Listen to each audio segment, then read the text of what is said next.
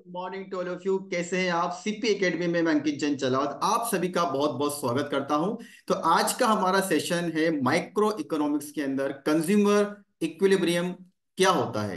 Class consumer equilibrium को समझने के पहले हमें सबसे पहले इन दोनों वर्ड्स को समझना होगा। कंज्यूमर क्या होता है एंड इक्विलिब्रियम क्या होता है? तो शुरुआत करते हैं आज के हमारे सेशन की।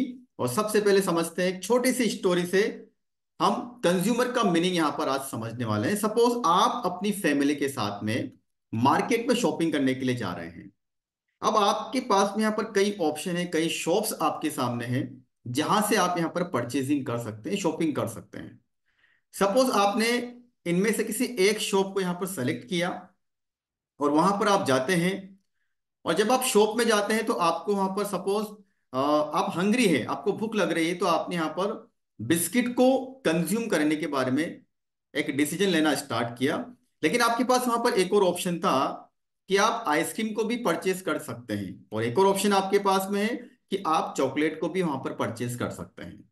तो तीन ऑप्शन आपके सामने आते हैं और इन तीनों ही ऑप्शन में आपको चाहे आप बिस्किट को परचेस करें, आइसक्रीम को परचेस करें या फिर आप चॉकलेट को परचेस करें, आपको परचेस करने के लिए मनी की रिक्वायरमेंट होती है। तो आप अपनी इनकम को इन प्रोडक्ट को परचेज करने में स्पेंड करना चाहते हैं।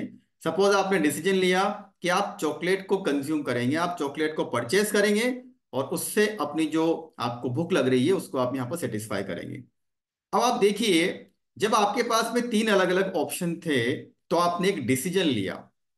यह डिसीज़न लिया कि तीनों ही प्रोडक्ट में से कौन सा प्रोडक्ट आपको ज़्यादा यहाँ पर सेटिस्फाइड करेगा, आपको ज़्यादा सेटिस्फेक्शन देके जाएगा। तो इन शॉर्ट हम यहाँ पर ऐसा कह सकते हैं कि कंज्यूमर होता कौन है? तो अगर हम डेफिनेशन की बात करते हैं तो consumer is the main decision maker of consumption pattern a consumer is one who buys goods and services for satisfaction of wants he takes decision with regard to the kind of goods to be purchased in order to satisfy his wants. The main objective is to get maximum satisfaction from spending his income on various goods and services. Summary के रूप में ऐसा कह सकते हैं कि consumer एक decision maker होता है। उसे डिसीज़न लेना होता है। वो गुड्स एंड सर्विसेज़ को परचेस करता है, उसको बाय करता है।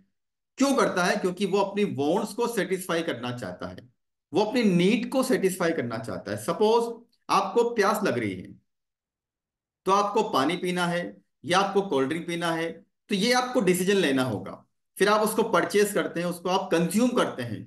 और क्यों कंज्यूम करते हैं? क्योंकि आपको अपनी प्यास को यहाँ पर कम करना है, आपको अपनी प्यास को बुझाना है।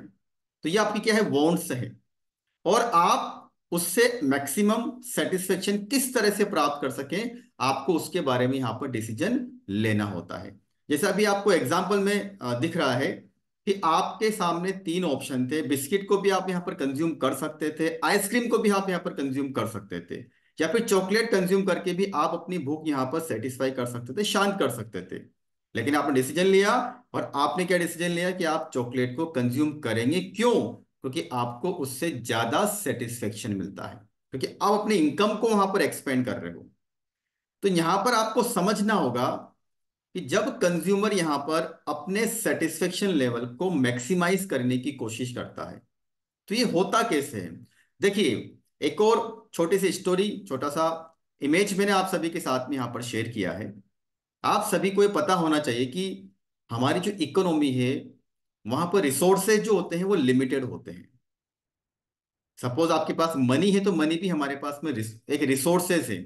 और इस रिसोर्सेज का यूज़ करके हम हमारी जो नीड होती है, हमारी जो वॉन्ट्स होती है, हम उसको सेटिस्फाई करने की कोशिश करते हैं। तो रिसोर्सेस क्या होते हैं? वो लिमिटेड होते हैं, चाहे वो नेचुरल रिसोर्सेस हो। अगर हम बात करते हैं लैंड की तो लैंड भी रिसोर्सेस है, वो भी लिमिटेड है। मशीन की बात करते हैं मशीन भी यहाँ पर रिसोर्सेस है, वो भी लिमिटेड है। मनी वो भी लिमिटेड है।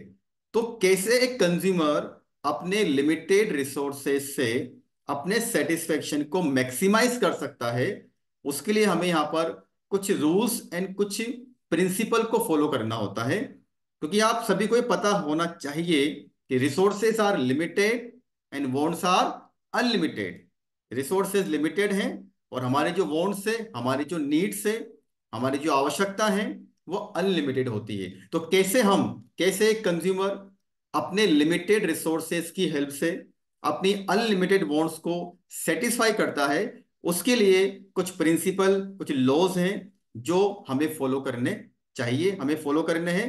तो दो मेन अप्रोच हैं, जिससे हम यहाँ पर ये समझ सकते हैं कि कैसे कंज्यूमर अपनी जो सेटिस्फेक्शन है, उसको मैक्सिमाइज कर सकता है। एक अप्रोच का नाम है कार्डिनल यूटिलिटी अप्रोच जिसे हम यहाँ पर मार्शल यूटिलिटी एनालिसिस भी कहते हैं, या हम उसको मार्जिनल यूटिलिटी एनालिसिस भी कहते हैं। और दूसरी अप्रोच का नाम है ऑर्डिनल यूटिलिटी अप्रोच, जिसे हम यहाँ पर इंडिफरेंस कर्व एनालिसिस और हिक्सन एनालिसिस मेथड भी कहते हैं।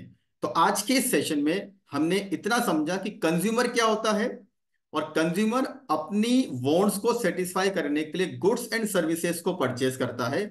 नेक्स्ट वीडियो में हम यहाँ पर इसको कंटिन्यू करेंगे कि कार्डिनल यूटिलिटी अप्रोच क्या होती है और ऑर्डिनल यूटिलिटी अप्रोच क्या होती है। तो आज की वीडियो में इतना ही। मिलते हैं नेक्स्ट वीडियो में. Thank you very much